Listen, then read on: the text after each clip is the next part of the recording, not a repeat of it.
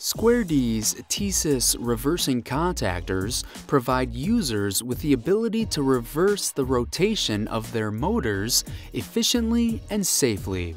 TeSys D contactors are the largest selling line of contactors in the world. They are available in 11 contactor ratings for inductive motor applications from 9 to 150 full load amps and resistive loads up to 200 amps. TeSys D contactors can be panel mounted with screws or DIN rail mounted.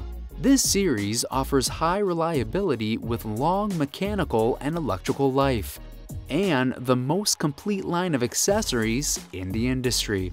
These accessories include auxiliary contact blocks with serrated whipping action, pneumatic time delay blocks, transient voltage surge suppressors, and mechanical latching blocks, interface modules, and electronic timers.